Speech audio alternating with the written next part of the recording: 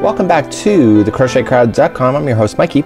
Today we're going to explore the USP hat and this is a beautiful thick hat with ear flaps and braids. Today I'm going to be using Schachenmayr. This is Boston yarn and we are just going to follow along the pattern and show you how to do one of these amazing little hats. So let's begin. I'm going to be using a peachy kind of color, a coral color, and I'm going to create a slip knot just like so. And let's insert our hook. We're using a size J, size 6.0 millimeter today.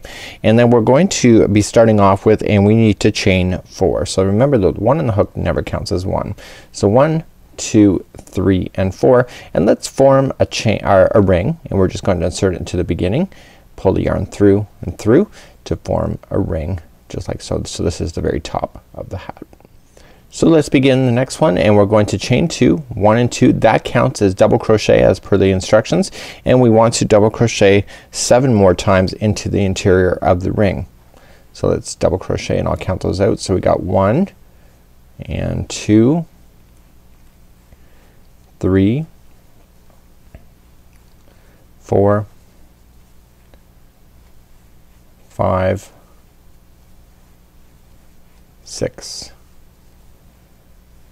and seven and then basically that chain two counts as one so that gives you eight okay so we're just going to join it to the top of the beginning chain two that we started with just like so. So we're just gonna pull everything together and you have your center just like this. Let's begin round number two. We're going to chain two. So one and two that counts as double crochet and we're going to double crochet into that same stitch right at the bottom just like so. So every stitch around in this uh, round is going to get two double crochets into each. So we just immediately go to the next one and we double double crochet two times into there. We go to the next one two times into that one and we continue to do that all the way around and so you'll have a total of 16 stitches if you're keeping count or you'll have eight groups of two. So continue to do that and I'll meet you back in just a moment. So I've come up all the way around and just to make sure it looks like we have one more left but we don't. Okay so this, this one here to see how this is coming out of there that means that that's part of it. So we want to make sure that we slip stitch at this point. So don't go an extra one. You wanna make sure that you have your your 16 or your 8 groups of 2. Let's move along to round number 3. We're going to do a chain 2, 1 and 2 that counts as double crochet as well and then double crochet into the first stitch and then one double crochet into the next. So we start off immediately right where we joined. It's your first one and then one double crochet into the next one like so. So we're doing an increase on this round here. So then the next one is going to get two double crochets into it. One and two and then the next one is going to get one by itself and you're gonna want to continue that same pattern all the way around. So one will get two just like this and the other one will get one. Please do that all the way around. So I'm coming up all the way back around and I will end with one double crochet standing by itself. So you have a double. The reason for that is that we started off with two right together and then one by itself. So therefore this one should be one by itself because you have two and two there. Let's join it with the top at the beginning chain and that will finish off round number three. Round number four starts just as easy. So it's just going to chain two that counts as your double crochet. You're going to double crochet into the same stitch so there's your two together into the same one and then each and the next two are gonna be by themselves. So one double crochet into the next and one double crochet into the next. So here is the repeat pattern. You're going to put two into this one, two double crochets and the next two are gonna be by itself. So one and two and please do that all the way around. This is round number four. Let's finish up round number four together. We have our two into the same one and then the final two will be by themselves. So we're keeping along with the same pattern and then we're just going to join it with the top at the beginning. Chain two. Just like so. Okay, so let's begin to do round number five. Let's begin round number five and we're going to start off with chaining two and then we just double crochet into the same one underneath. So there's your two together and now the next three are by themselves. So double crochet into one each of the next three. Okay, so here is the repeat pattern right now and it's gonna be two double crochets into this one and then the next three are by themselves and continue that same configuration all the way around. Meet you back up in just a moment. Finishing up round number five we're just going to join at the top at the beginning. Chain two just like so. So let's begin round number six. Round number six starts off the same way chaining two then we're going to double crochet into the same stitch as below. So there's your two and then the next four are going to be by themselves. So we have one double crochet, two, three, and four. And then the next one is going to be by itself. And please do that all the way around that same pattern. I'm finishing up round number six and I will have my four left that I am supposed to have and I'm going to change color at this point and I'm gonna show you how I'm gonna fasten off and I'm going to add on a new color and I'm just playing uh, with ideas. You can see what it looks like in the pattern if you would like the exact version. And so we're just gonna put it together like this. Okay, so I want to change color at this point. Gonna grab my fancy dancy scissors.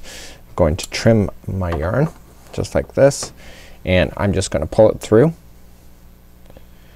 like this and, and I'm just gonna weave in just in and out some of the stitches just like this. And so basically once I do this I'm just gonna use the next layer to trap that completely in so I make sure that when I go into the stitch I go underneath of that that line there and I'm just gonna leave it hanging out for now. So let's begin and I'm gonna go with round number seven and uh, this goes really quickly so because the pattern is so thick. So I'm going to join on and let's see what I'm gonna choose. So I'm gonna join on my new yarn. I'm going to create a slip knot. It's just my own technique because I'm always worried about falling out and I want to join it on exactly where I left off over here. Okay, so we're just going to put it together and we want to just fasten on so just on and then one and two and simply what we want to do then is come to immediately to the next stitch and just double crochet. We're just gonna double crochet into each one going all the way around. So we're now finished doing the increase. So you're looking at the the screen and said that hat is not big enough. It takes about three revolutions for the hat size to settle out so you have to stop a little earlier so because it continues to grow just a bit more as you go. So I'm just gonna double crochet for round number seven. See how I'm trapping that in underneath? That's the way to do it and when I come around to the other side I wanna trap that one underneath as well. So please complete round number seven. Coming to my last stitch available and then basically once you come around then you just want to join it at the top of chain two. So you can change the colors as often as you wish. What you want need to do now is that I'm gonna ask you to do rounds number eight all the way to 13. That's one, two, three, four, five, and six more lines. So please do that and when you start each one just chain up just like so and then immediately start into the next one available to you.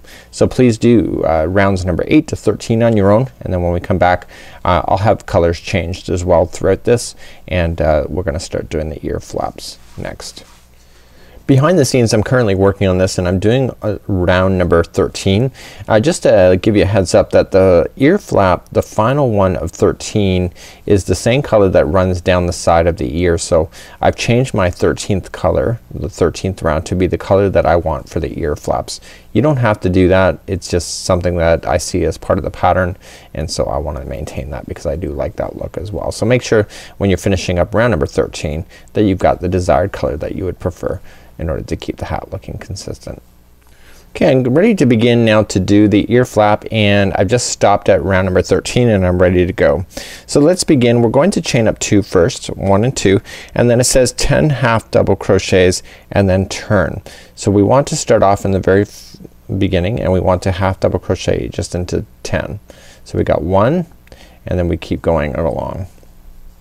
So we got two, three, and four, five, six, seven, eight, nine, and 10. Now you want to do this for both ears so I'm only going to show it with one ear. So there is the length there. So let's turn it and we're going to do a decrease. So it says to do so we're going to do a decrease. So now it says to chain two, two, two, and then we're gonna half double crochet two together. So the first two are gonna be together. So we're gonna wrap and through, pull through, and then wrap and then through pull through just like so and then pull through everything and so you just paint two stitches into one just like so and now you're going to crochet uh, into the next six so half double crochet one two three four five and six and that leaves you two more stitches left and you're gonna half double crochet together those as well. So just wrapping through, wrap put into the last one and through and then pull through like so and that completes off round number two. Let's turn our work. Now if we decrease too quickly it's going to not cover your ears so we're going to start off with I'm gonna make sure that string is on the back side just like so. So let's begin and it says to chain two one and two and half double crochet into each. So we're not gonna decrease on this one. This is round number three or row number three if you want to call it that. So we're just taking our time. We do want to make it more and more narrow but we want to make sure we don't rush the process and the final one just like so. Okay, so we want to get that final one. I'm gonna get that right stitch. I keep only grabbing one strand. I want to make sure I do grab both because it makes a difference in the look. And then simply I just want to turn and let's move up to round number four. Round number four we're going to do a decrease. So chain two, first two are together. Pull through everything. And we're just going to just half double crochet across but on the final two you're gonna bring those together as well.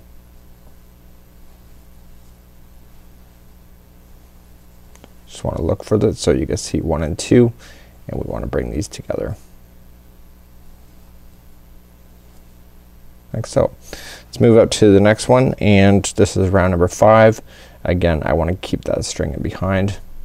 Just makes it look consistent.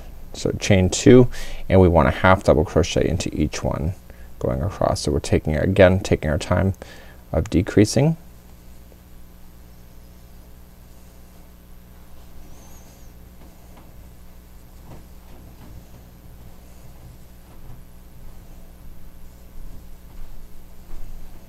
let's turn our work again. And again put that string on the back. And let's start up with row number six. Row number six is also a decrease so you're just gonna chain two and then the first two are together. So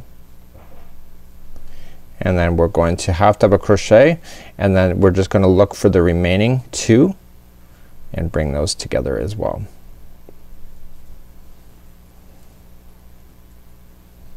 So. So let's turn our work. Actually I'm gonna turn it the other way because it keeps the string on the back. Let's go for round number seven. It's just chain two and one half double crochet into each going across.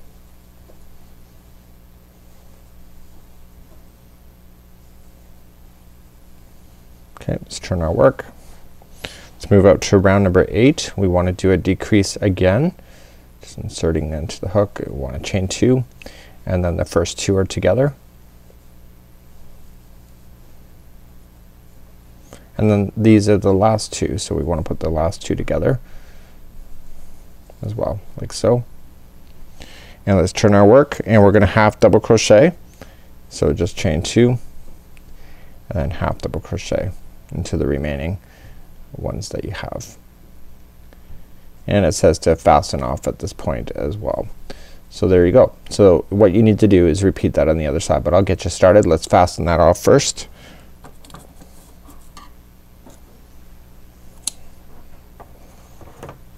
Because we have to figure out where the ear, other ear flap is gonna go with. And we'll do that in just a moment. So that's what it looks like at this point. So let's figure out where the other ear flap's gonna go. I can tell this is where my seam line is and I can tell that I started off when I went this way.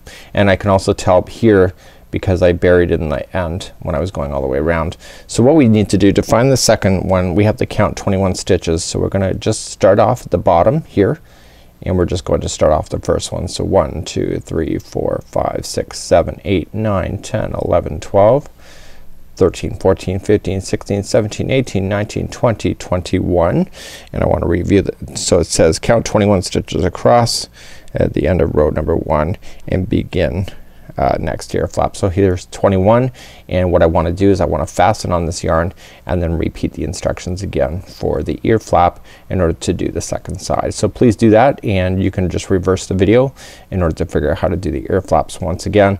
But we just fastened on at this point and if you remember that it was um, chaining a two just like so and then half double crochet into the next 10 and please do that and then just reverse this video in order to learn how to do the ear flap once again if you need to. So I'm just finishing up the second ear flap and I've put them over top of each other. They look the same so therefore they're good. And so what we want to do now is that we want to chase the border now with single crochet and we're just gonna chain up one and we're just gonna work our way just evenly just going in the sides. So when we get to the end of the actual um, ear flaps. So right at the points what we want to do is chain six and then leave a little um, and that's a hole. And what we want to do for that is that the braid actually works through that hole instead of trying to jam it between all the stitches. So we're just there's really no math or science to it. We just want to evenly uh, make these stitches look like they just belong and just chase the pattern just like so with single crochet. Once you get all the way to the brim of the hat over here it gets really easy. It's just you wanna make it look nice when you're going down the sides of the braids. You can also make it look really cool too if you wanted to do a separate color for the edge of your hat completely. It's an opportunity to do that as well. So you would have to fasten off and then just start and just do your edging just like so. When you get to the actual area here to the brim you just chase it so there's no fancy footwork. It's just put in the single crochets. And so now we're just gonna follow it and do that. So just remember you're going to chain six and make sure that there's a hole right above the top just like so. So I'll leave that to you. When we come back I'll show you how to do the braid. So let's create the braid together. We're gonna do the ear flaps. I've already done one off camera. The easiest way to do this is that you end up with these big loops in the end and when you see all of this bunched together you realize you really do need that much space to go through. So what we wanna do is we wanna turn it so that the hat is inside just like so. I'm gonna fold the other one up and what I wanna do is that when I put this ear flap in I want to insert it from the bottom so go up from the bottom and then through the loop through. So the best way to do it at this point is just take all of this. This is five feet long. There are four strands of each of the colors and when you braid them there's going to be eight strands because what we're gonna do is we're gonna take this big five foot strand now and we're gonna fold it in half off camera.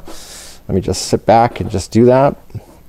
And I'm making sure all the strands are pretty much in line. I don't want to trim anything off. I'm doing it off camera just kind of doing commentary as I go. And so now I want to basically have it like this. So this is about the middle part. So what I want to do now is that I want to grab this and I want to put my fingers, you can probably get your fingers, just kind of pinch it and pull through. Just like so.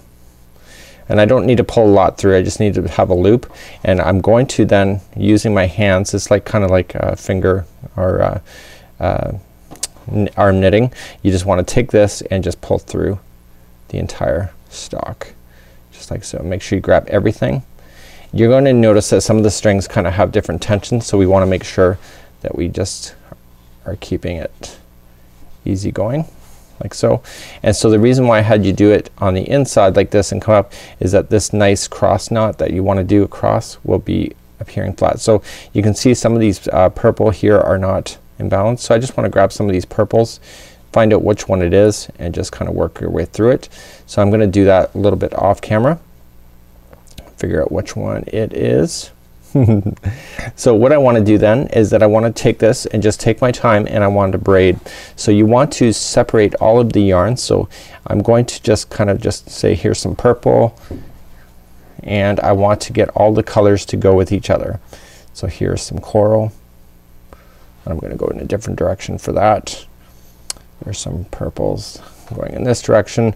And so essentially you want to separate all the strands and please do that and I'll meet you in just a moment. So now I have all my strands all separated just like so and now I want to begin the uh, braiding process. So we just want to make sure we have everything we want. I already uh, made sure I tightened up that other one that was kind of loose that I showed you in just a few seconds ago.